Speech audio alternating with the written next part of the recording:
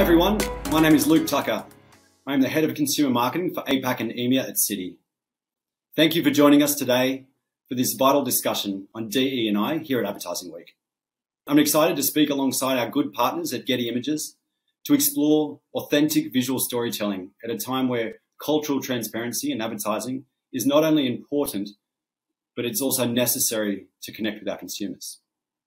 Our goal today is to introduce you to a free global tool we've created in partnership with Getty Images called the Diversity, Equity and Inclusion Imagery Toolkit. The toolkit explores the nuances of DE&I across 10 global markets and offers guidance on how to embed these learnings into your creative work. As we're talking about imagery, it made sense for us to partner with Getty Images, the leading global, global imagery company that provides stock and custom assets for organizations. In just a few moments, Yuri Endo from Getty Images will walk you through the highlights of the DE&I imagery toolkits to help you to help equip you with real market insights and tangible ways to drive authentic and multifaceted depictions of people in your marketing, communications, and creative work. The work started with Citi's global marketing team, who looked at creative assets and communication from across the globe. And through their work, they saw a universal opportunity to be more expansive in how we're defining diversity, but how to be also more inclusive in our imagery.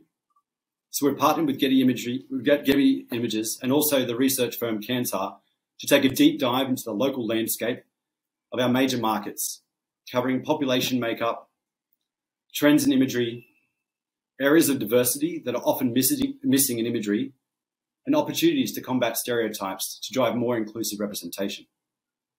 To create change, we're hosting workshops internally at Citi and externally like our session today to demonstrate how to leverage the DE&I imagery toolkit and use its actionable insights to be more inclusive marketers. At the bottom of the screen, you'll see a QR code and link where you can download the DE&I imagery toolkits for the different markets. We launched the US toolkit in October of last year. In the last few months, we've launched Singapore, the UAE, and Hong Kong toolkits. We're building, we're building toolkits in 10 markets across the Americas, APAC, and EMEA because diversity in Singapore is not necessarily the same as diversity in the US, nor is it the same as diversity in, say, Abu Dhabi. The toolkit doesn't necessarily have all of the answers. Instead, it should serve as a roadmap to guide us to incorporate authentic and multifaceted depictions of people in advertising, marketing, communications, and creative assets, while also identifying biases and stereotypes through specific lenses of, lenses of identity. To share some of these learnings and actionable insights with you from our APAC toolkits, I'd like to introduce you to Yuri Endo, Manager of Creative Insights APAC at Getty Images. Welcome, Yuri. Thank you, Luke. Um, hi, everyone. My name is Yuri Endo, Manager of Creative Insights for Asia Pacific at Getty Images. So at Getty Images, we believe images have the power to move the world. And we believe that if you change the image, you change the perception of people. So there have been so many examples on the positive impact an image can have. That's why we today we um we want to equip you with better visual choices because we understand the impact of those choices in the wider world. So for today's workshop focus, um, we will do a deep dive on why brands should care about inclusive visual storytelling and what real inclusivity means and how it looks. And finally, give you uh, some insights on how you can drive authentic representation in media and advertising creative. The goal is, here is to show people authentically and inclusively. So why diversity, equity, and inclusion important for brands? So this is a question we receive from brands, and we always answer with insights from our visual GPS research to really provide a framework to understand the opportunities and impact that inclusive creative, inclusive creative can with four out of five people in APAC making decisions on what company products or services to use, going by the visuals they see, it has never been more important to know how to select and create uh, visual content that matches your customers' aspiration and values. DEI is at the forefront of many brands and businesses' visual strategy, yet only 30% of people in APAC said they see diversity in advertisements um, by brands they purchase from. And when it comes to imagery showcasing people, we've seen a natural tendency toward what is known. While familiar visuals may convey the messages of diversity, they may also contain stereotypes, um, such as men shown in leadership positions, also women depicted as homemakers, um, people with larger bodies shown dieting, and um, senior depicted as receiving care. But um, consumers are no longer connecting to those visual stereotypes. A Kantar study also found that imagery that is inclusive and challenges stereotypes is more effective with consumers um, and has a longer lasting impact on them. So, inclusive visuals not only promote acceptance and understanding, but also build trust with consumers. So, it is also, also important to consider the role of our unconscious bias and check not only who are we featuring, but how are we featuring them. Our visual GPS research shows that four in five consumers across the Asia Pacific agreed that it isn't enough to have people of various ethnicities, backgrounds, and appearances in advertising and media. So companies need to do a better job at capturing people's true lifestyles and cultures. So what does this tell us? So it's not just about featuring certain types of people, but about how we are visualizing them, how we reflect their true selves and lifestyles. Also globally, only one in 10 feel that diversity is accurately represented in the advertising and media they see every day. So moreover, in Asia Pacific, one in two feel that the media and advertising do not reflect people like them, people they can relate to, or their lifestyles. So this indicates that the majority of people can't connect themselves to the visual they see every day. Additionally, uh, our visual GPS research shows that three in five Asia Pacific consumers feel that they have encountered bias. And top three biases felt in APAC are body type, age, and socioeconomic status. We have been tracking how bias drives inclusion and found that people who have encountered biases are more open to seeing inclusivity not only in real life but also in media and advertising. So these findings make it critical as we recognize how diverse and multi- multidimensional each culture and its people are analysis from Getty Images' most popular visuals downloaded in APAC in the past year shows that um, we all get into overuse of simplified cultural backgrounds and unified lifestyles and beauty standards. So having three-dimensional characters visually represented in stories allows for compelling stories originating from diverse cultural backgrounds in each region, also uh, promoting a better understanding of others and therefore acceptance of them. So with that, um, turn it over to Luke to discuss how we thought about showcasing inclusivity in our DE&I imagery toolkit. Thanks, Yuri. When thinking about inclusion, we were wondering how we can define and showcase this in an easy way. We know diversity is a buzzword that means different things to different people, so we wanted to narrow it down to a universal definition. Through this work, we defined eight lenses of identity, covering race and ethnicity, gender, age, sexual orientation, disability, bodies, religion, and socioeconomic status to show the breadth of what diversity means and the lenses that each of us possess. But by defining these lenses of identity and working with Getty Images, we were able to, we were able to understand global imagery gaps across all of these lenses to build out actionable insights for marketers to see image gaps. Through these image gaps, we learned that certain visual stereotypes often persist in representing each of the aspects of the identity. So we created inclusivity questions that teens can ask themselves in order to show more diversity in their work. Before we dive into the exclusivity questions, Yuri will take us through some of the common global visual stereotypes and imagery gaps to help us understand some of the areas of opportunities to be more inclusive. Thank you, Luke. So um, let's start with um, discussing age. So there are differences um, between the region, but the, the aged population is currently at its highest level in human history. So in terms of the older generation, 10% um, of our popular visuals used in APAC feature 60 plus year olds. So they are less portrayed as active adults um, pursuing, pursuing their own interests or working, and most frequently shown in healthcare setting as care receiver or often with their family. So this picture here shows the different side of senior lifestyle and um, moving away from medical settings um, without them being portrayed as being cared for in popular visuals, um, young adults are the most represented, um, accounting close to 50% of overall visuals for APAC, and over 50% are seen as working in corporate environment. So this picture here, this is actually a rather um, inclusive environment where workers are allowed to choose um, between remote or office work, and you can see in the TV screen, um, everybody's joining from different places. Now, moving on to bodies. Um, when looking at our most popular visuals, um, less than 1% of the visuals represent body positivity, and larger bodies are rarely represented. So, when larger bodies are represented, it is women that are depicted the most and are seen um, dieting or working out. So, aesthetically, um, Eurocentric beauty standards are preferred. Uh, most notably, lighter skin complexion, also slim and tall people are preferred. And when um, people with darker skin complexions are visualized, they are mostly depicted as working class. So this visual here shows how active self-care can be incorporated into everyday lifestyle of a woman who has a realistic body type.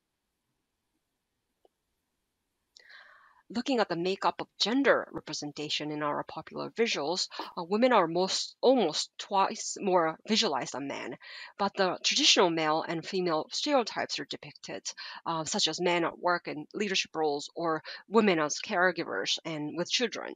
So this visual here is a great representation of a Singaporean um, Indian mother um, who's leading an active um, work-life balance, and um, that suggests that there are many ways to represent modern work-life balance for women. Less than 1% of our popular visuals from APAC represent LGBTQ plus identities. Our research also looked at how the LGBTQ plus community is visualized, uh, which demonstrated a, a, link between representation and bias. So in particular, how um, countries with greater frequency of representation tend to exhibit less bias among the LGBTQ plus community. So when they're seen authentically, groups feel more accepted and no longer feel marginalized. So this visual here portrays a man from the LGBTQ plus community cooking with his mother. And um, it's going beyond the fact that he's a gay man. The focus is on the aspects of his intersecting identity, such as him being a son and also an avid cook. When looking at our most popular visuals, uh, less than 1% of the visuals show people with disabilities for APAC. So when they're visualized, images tend to focus on aging care and the physical disability. So outside of sports and the healthcare settings, a wide range of lived everyday experiences um, are rarely represented. So the visual here takes a great approach to show the daily moments of people with disability. The focus is not on her disability itself, but how she works and uses technology in real life. Now let's move on to race and ethnicity. So looking at our most popular visuals from APAC, we found that Caucasian people, Chinese, uh, Japanese people, and Thai people are the most visualized, followed by Indian people. And the remaining parts composed of ethnic communities are rarely visualized. So as for the cultures, um, also tradition and other hugely influential cultural celebrations, less than 10% of visuals uh, depict um, those cultural specificities for each region, and uh, nuanced depictions of regional identities, uh, traditions, food, mannerism, and stylings are missing. Now that you've learned some of the gaps and understanding the lenses of identity, we want to equip you with some inclusivity questions that you can ask yourselves to help drive authentic representation of people in your own work. So when representing age, what's missing visually? So we have looked at what we have and looked at what is happening in APAC, and um, these are checklists and the opportunities to portray age more inclusively. So are you focusing on a person's whole identity? Are you showing adults of all ages as capable and competent, com- competent in everyday life instead of being cared for? So, for example, visualizing women in business and leadership across all ages is very important. But this visual, we also have a further intersection where the woman featured here is 60 plus years old. Um, it's it's an age range that we see less um, leading the meeting and also being shown as fulfilled and happy compared to the younger generations. Are you presenting a multidimensional experience of what it means to be an older person? So focusing on what they can do and not just what they can't do. So you often see the older generation leading a gentle lifestyle, such as walking or, or spending time with uh, family at home. But this visual here, um, he's focusing on his strength and working out properly at the gym. Are you def- defaulting to certain scenarios for certain age groups? So, looking at the evolution of the subject, um, Gen Zers and uh, millennials will make up half of APAC consumers by 2025. So, also the on the professional background, there has been a diversification of profession outside of office work, such as gig economy workers, um, influencers, esports athletes, and um, activists, and so on. So, are you showing varied business setting for young adults outside um, corporate business setting? Have you considered the intersection of gender and different body types? So, are you selecting imagery that features people with different body types living full lives? Are you representing people with larger bodies, not only women? Also, are you including positive um, representation of men with larger bodies? Are you taking into account several aspects of one's body, including hair, skin color, um, shape, uh, complexion, um, height, and so on? So, in Asia Pacific in general, skin color creates firm lines of divisions between socioeconomic statuses.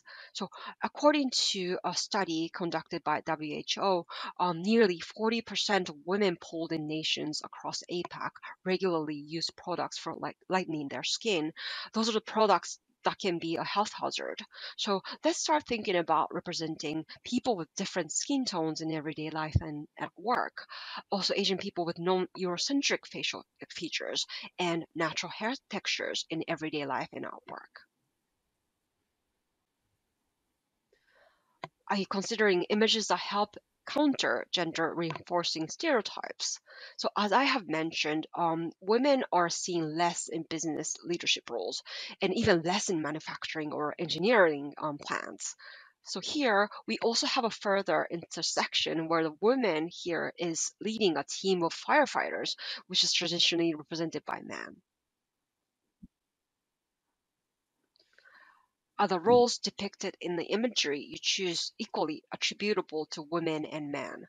So, for example, when choosing visuals, have you considered who the caregiver is or um, who is featured in a, in a role of power? Uh, what are the activities in which they are engaged in? So this is a very nice visual of a father and also an uncle um, um, taking care of a baby.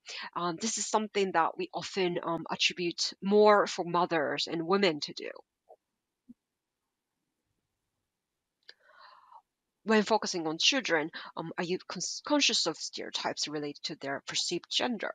So, in fact, children studying is what is most visualized in APAC for both um, girls and boys.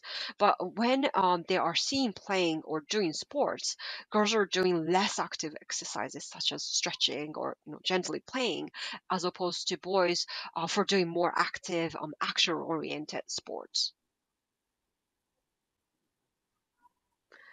Are only showing LGBTQ plus people in romantic stories or as parents? So what about non-partnered LGBTQ plus people living full lives?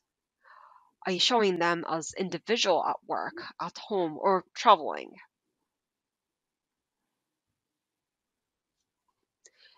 Moving beyond pride, um, are you showing LGBTQ plus people living fulfilling, positive lives and having shared experiences both within and also outside of their communities?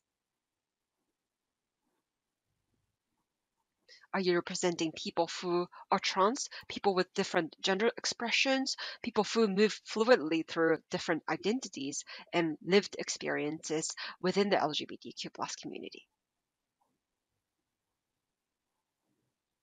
Have you considered the camera angle?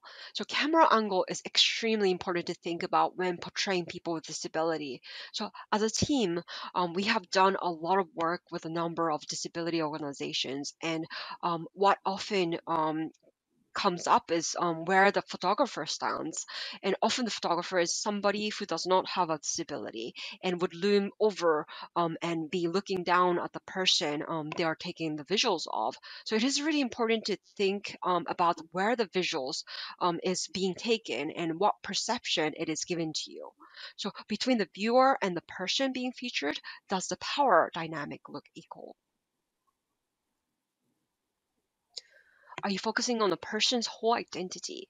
Are you showing the whole range of life experiences and relationship that person with disability may have? So we often see visuals where it is zoomed in specifically on the disability they have rather than looking at what they're actually doing in the image. So taking this visual here, for example, um, although you can clearly see this um, person has a disability, the focus is about him as an artist, but ab- not about his disability. Are you representing multi, multiple intersection of identity, such as race, ethnicity, um, body type, gender identity or expression, age, and so on. So here we have a man with a disability. He is also Japanese ethnicity, and it's really um, nice to see a moment of him going about his working day. Are showing a person's ethnicity alongside other intersections of their identity? So, what do you understand about the historic depiction of certain ethnicities? Uh, what are you doing to actively challenge um, those stereotypes? What has you know, typically been seen, and therefore, how can you change perceptions? So, in this visual, you see a hearing impaired East Asian woman who is also from the LGBTQ plus community and teaching sign language online. Are you tokenizing or are you humanizing?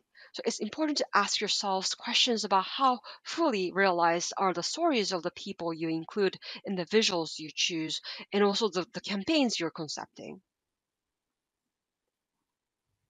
And lastly, are you taking an expansive view of the dimensions and depth um, possible for people you feature? So are you feature are, are they featured in a variety of roles and professions and also displaying a variety of hobbies and interests? So with that, um, I'll pass it back to Luke. Thank you, Yuri, for taking us through those insights, and to all of you for attending today's DE&I imagery workshop. We hope you can use these insights to select more diverse and inclusive imagery in your work. On the screen, you'll see the QR code and a link to download the DE&I imagery toolkits. Thanks again.